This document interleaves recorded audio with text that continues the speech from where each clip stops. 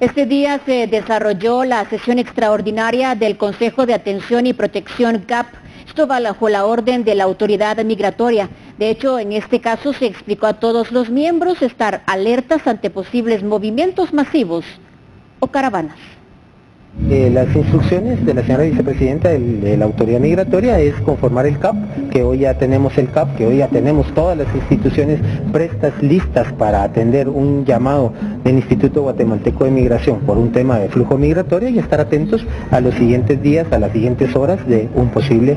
eh, grupo masivo que pueda ingresar. Nosotros vamos a seguir monitoreando, vamos a seguir trabajando la inteligencia, vamos a seguir coordinando eh, las buenas comunicaciones que tenemos con los diferentes directores de migración del área, desde Costa Rica hasta los Estados Unidos, y vamos a esperar, vamos a seguir esperando las instrucciones, las informaciones y la inteligencia para ver si se conforman o no se conforman estos grupos.